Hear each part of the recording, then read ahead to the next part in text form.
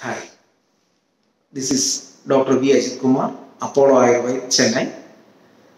Apollo AyurVAID, India's first NABH accredited and India's only Ayurveda hospital, which is awarded by Quality Council of India, has opened its treatment facilities at Apollo AyurVAID, functioning at Apollo Medical Center, Kotturpuram, with all treatment facilities at OP basis.